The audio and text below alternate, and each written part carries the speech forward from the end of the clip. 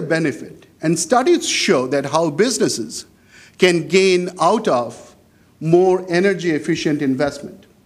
Studies have shown, at least over the last 10 to 12 years, time and time again, that when a particular business makes investments which are geared towards promoting energy efficiency, they're viewed as environment friendly.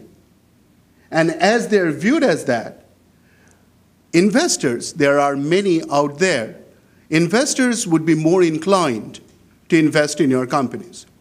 So more energy efficient, more environment friendly businesses would be having an easier time to attract capital. That goodwill effect of energy efficiency investment frequently we lose sight of, but that is a substantial plus for such energy efficiency and investment in energy efficient projects. Now, still, the bottom line of all these remains the bottom line of the business. If we have to make costly energy efficient investment, whatever the state or federal government's incentive programs are out there, exactly how this investment can work out. How can we get the return out of that investment? And here, perhaps, we can be excited about conserving energy. Now, I have to see that how this PowerPoint works. And incidentally, as I'm trying to figure that out, uh, I have to uh, give you only this one? Okay. Uh, I have to uh, come up with a disclaimer. Uh, unlike most academics, and you, you may have a sense about the academics that they will always come up with lots of slides and charts. I, I don't have that, and I don't do that. But last night, kind of for preparing for these remarks, when I was making some slides, my 14 year old, who would be a high school uh, freshman, um, looked over my shoulder and said, What are you doing? I said, I was making some slides. So I told him that. He said, For this talk? I said, Yes. He said, They look terrible.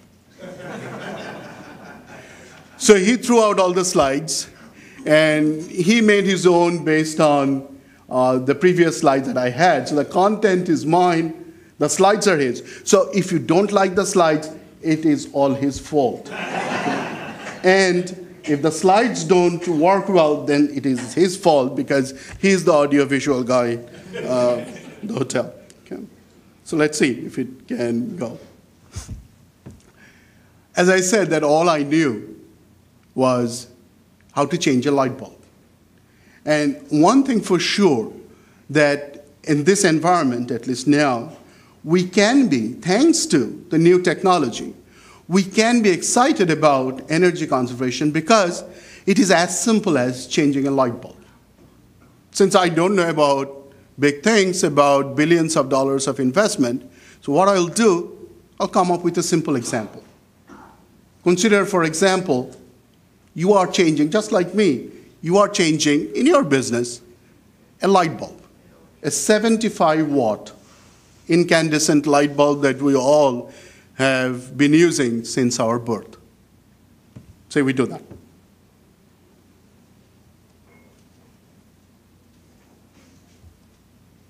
This is my son's handiwork, as you can see. So suppose we are replacing a 75 watt incandescent light bulb by what they call, you all have seen those spirals, those compact fluorescent light, the CFL bulbs. The equivalent light would be coming from a 20 watt CFL bulb. So suppose we do that. Now, based on an eight hour daily use, any reasonable work here, the annual energy used by a 75 watt bulb works out to be, and I'm kind of underestimating here, is about 210 kilowatt hour. Now you know that the same light can be coming from that 20 watt spiral bulb, the CFL that you put in, and the annual energy use by an equivalent 20 watt CFL bulb would be only 56 kilowatt hour. So You can all do the math. And believe me, there won't be much math here. The annual energy savings is 154 kilowatt hour. What does that translate in terms of dollars? The annual cost savings based on a 10 cents per kilowatt hour rate would turn out to be $15.40 if you replace one 75 watt light bulb. Now, remember, the initial cost to buy that one CFL bulb, if you just bought one in the marketplace, that would have cost you about $5. So, how long did it take for this investment, of that $5 investment that you made to pay back? The payback period is actually 0.324 of a year or less than four months. Anyone who has managed a business, anyone who has had any type of business dealings knows that's a good deal. That any time your payback period is less than one year, actually they call it less than 18 months, then you are actually looking at a good investment project. Now, at this time, you have every right to tell me that that example, however simple it is, it's ludicrous. We don't change one light bulb at a time.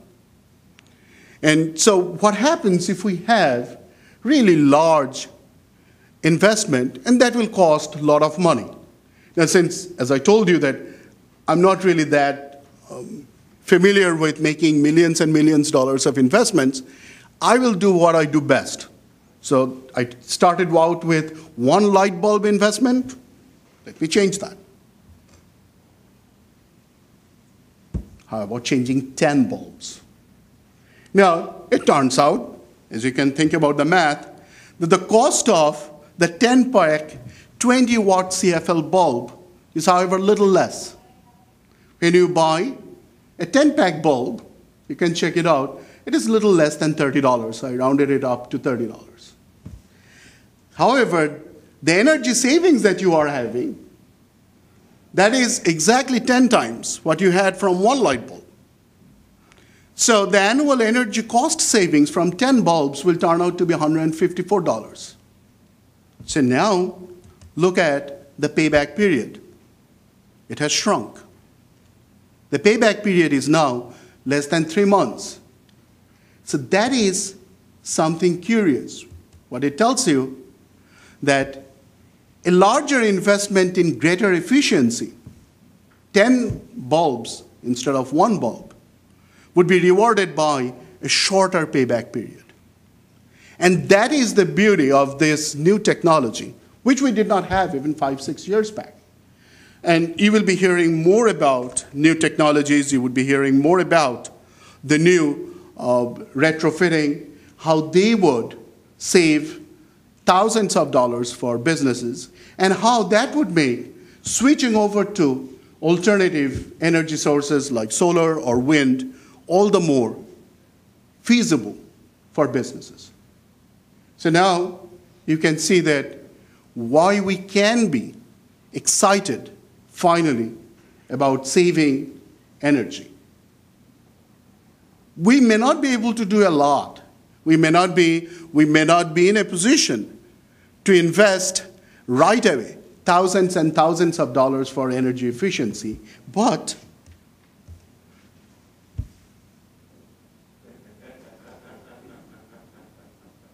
I believe we can. Thank you.